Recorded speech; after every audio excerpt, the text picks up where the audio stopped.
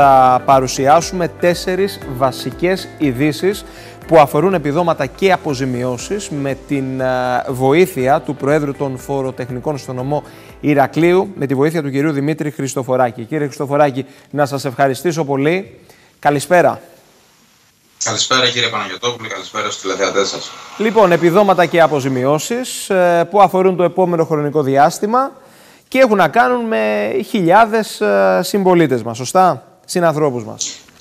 Ξέρετε, τον τελευταίο καιρό που η πραγματική οικονομία δεν λειτουργεί, τα επιδόματα αυτά υποκαθιστούν τη θέση του μισθού του πραγματικού χρήματος που κινεί την οικονομία, την όποια οικονομική δραστηριότητα, κυρίως στις βασικές ανάγκες των οικοκυριών και των επιχειρήσεων. Άρα λοιπόν έχουν πρωτεύουσα θέση νομίζω στην ενημέρωση όλων, μιας και για πολλούς είναι και η μοναδική πηγή εισοδήματος που αναμένουν να λάβουν και το διάστημα που ισχύει αυτό ε, έχει περάσει πλέον το χρόνο. Άρα λοιπόν θεωρώ ότι είναι ιδιαίτερα σημαντικά να γνωρίζουν οι άνθρωποι τι δικαιούνται και πότε προσδοκούν να λάβουν τα χρήματα. Μάλιστα. Από πού θα ξεκινήσουμε; Ε, εγώ αν θέλετε να βάλω ένα, ένα αρχικό πλαίσιο ε, θα ξεκινούσα από τη δεύτερη ευκαιρία που δίνεται στους ιδιοκτήτες ακινήτων που έχουν δεχτεί μείωση στα μισθώματα που λαμβάνουν ε, λόγω των συνθήκων του COVID.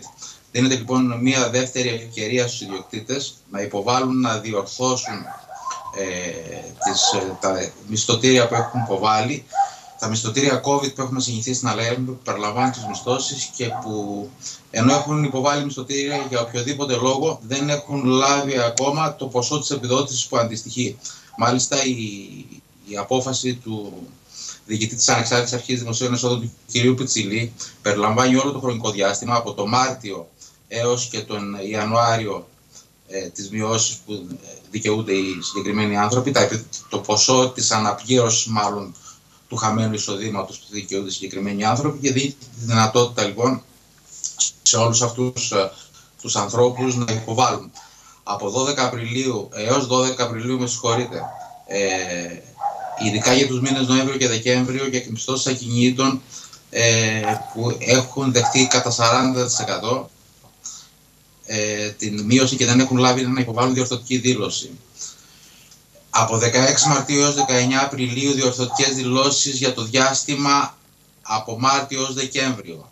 Υπάρχουν προθεσμίες, εν πάση περιπτώσει για να μην κουράσω τον κόσμο, τις προθεσμίες εκτείνονται κυρίως στις 12 Απριλίου. Όσοι λοιπόν δεν έχουν λάβει είτε τον συμψηφισμό με οφειλές προς το δημόσιο, είτε δεν έχουν δει να πιστώνονται τα χρήματα που δικαιούνται στους τραπεζικούς λογαριασμούς, ναι. να, γνωρίζουν, να γνωρίζουν ότι θα πρέπει ε, να περιμένουν να, να, να, ελέγξουν μάλλον τον ατομικό τους λογαριασμό ε, στην ΑΔΕ, να δουν αν έχουν λάβει το μήνυμα με το ποιο πρόβλημα υπάρχει και δεν έχουν πληρωθεί, ούτως ώστε να προβούν σε διορθώσεις έως και 12 Απριλίου. Ε, να πω εδώ βέβαια ότι ενώ η πλατφόρμα είναι ανοιχτή για διορθώσεις από τις 12 Μαρτίου, δεν έχει σταλεί ακόμα κανένα μήνυμα και υπάρχει πολύ πολύ μεγάλος αναβρασμός ε, στους ιδιοκτήτες ακινήτων και στα λογιστικά γραφεία, διότι ενώ ε, τσεκάρουμε τις δηλώσεις COVID και βλέπουμε ότι δεν αντιμετωπίζουν κάποιο πρόβλημα, έχουν ναι. δηλωθεί σωστά οι μειώσεις των μισθωμάτων, παρόλα αυτά ε, δεν έχουν λάβει τα χρήματα και αντίστοιχα δεν έχει και έρθει και κάποιο ενημερωτικό μήνυμα. Μάλιστα. Ε, ξέρουμε... Κύριε Χριστοφοράκη, να το τρέξουμε λίγο. Ε, ναι. να, να προχωρήσουμε και στο επόμενο για να προλάβουμε να τα παρουσιάσουμε όλα. Ωραία. Από εκεί και μετά έχουμε το επίδομα των 400 ευρώ των επιστημόνων. Ε, καταβλήθηκε εχθές ε, από τις 120.000 επιστήμονες, μόλις 45.000 έλαβαν το επίδομα. Και αυτό γιατί, γιατί μπήκε ο γνωστός, οι γνωστοί πλέον κόφτες που είναι τα εισοδηματικά κριτήρια και να θυμίσουμε εδώ Για τους μισούς. Ε, ίσως είναι και λιγότερο από τους μισούς με τα τελευταία στοιχεία. Να πούμε εδώ ότι ο κόφτης που έχει μπει είναι οικογενειακό εισόδημα να μην υπερβαίνει τις 30.000 ευρώ ναι. και θα πρέπει και εδώ να τεκμέρεται μείωση κατά 20% τουλάχιστον του τζίρου των συγκεκριμένων α, ατομικών επιχειρήσεων από, τον, ε, από την 1η Απριλίου του 20 έως 31 Δεκεμβρίου στο με το αντίστοιχο διάστημα του 2019. Ε, παράλληλα είχαμε... Και αποφάσεις που βγήκαν μόλις χθες και έχει να κάνει με την αποζημίωση ειδικού σκοπού ε, σε πολύ συγκεκριμένες ειδικές κατηγορίες εργαζομένων. Ιδιαίτερο ενδιαφέρον παρουσιάζουν ε, για τον τόπο μας, για την Κρήτη, οι εργαζόμενοι στον τουριστικό τομέα και δι, οι τουριστικοί συνοδοί, οι οποίοι ενώ είχαν ε, απασχοληθεί το 2019 με σχέση, εξαρτημένης σχέσης εργασίας, είτε με πλήρη είτε με μερική απασχόληση, δεν δούλεψαν καθόλου το 20 Υπό την προπόθεση, βέβαια, πάντα για να είναι δικαιούχοι, ότι πρέπει να είναι μέλη στο Μητρό, στο, στην Πανελλήνια Ομοσπονδία Τουριστικών Συνοδών. Μάλιστα. Ε, αναφορικά τώρα με το επίδομα των 534 ευρώ. Αυτό ακριβώς σας αναφέρω τώρα. Είναι Τα... αποζημίωση ειδικού σκοπούς ειδικών κατηγοριών. Ε, 10 νέα επαγγέλματα λοιπόν. Τουριστική ε, συνοδή. Εργαζόμενοι σε τουριστικά γραφεία που δεν εργάστηκαν μέσα στο 2020 ενώ είχαν δικαίωμα επαναπρόσληψης. Και εργαζόμενοι σε τουριστικές επιχειρήσεις ε, που δεν εργάστηκαν 12 μήνε διάρκειας, που δεν εργάστηκαν τον Οκτώβριο μέχρι τον Μάρτιο, αν και είχαν δικαίωμα επαναπρόσληψης, ε, είναι οι κύριες κατηγορίες που αφορούν το νησί μας. Εκτός από αυτούς τώρα, έχουμε φωτοεκφορτωτέ, έχουμε προπονητές ποδοσφαίρου, έχουμε δασεργάτες, έχουμε λαχιοπόλες, ε, αναβάτες αλόγων υποδρόμου, ε, ε, πολιτές υπαίθριου εμπορίου δεν εννοούμε τους εμπόρους που έχουν άδεια λαϊκών αγορών.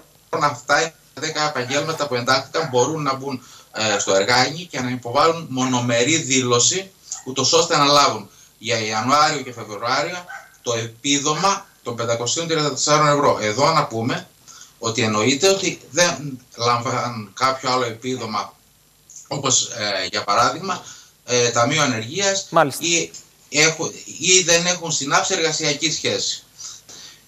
Και, να, πάμε και στο τελευταίο που φαντάζομαι ότι ε, απασχολεί πολύ κόσμο, το, το περίφημο voucher των 200 ευρώ για την αγορά laptop, tablet ή σταθερού υπολογιστή ε, από τις οικογένειες που έχουν παιδιά από 4, από 4 με συγχωρείτε, έως 24 ετών, ε, βγήκε η υπουργική απόφαση, δεν έχει ανοίξει πλατφόρμα, ε, επειδή έχουμε κρατήσει από τηλέφωνα όλη η φοροτεχνική, δεν έχει ανοίξει καμία πλατφόρμα.